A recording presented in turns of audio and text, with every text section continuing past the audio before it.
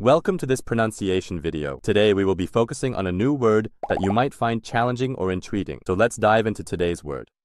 들어보니, which means I heard it in Korean. let's say it all together. 들어보니 들어보니 들어보니 One more time. 들어보니 들어보니 들어보니 Thank you for joining us on this adventure in pronunciation. Remember, language is a journey, not a destination. Keep exploring, experimenting, and expanding your linguistic horizons. We'll see you next time.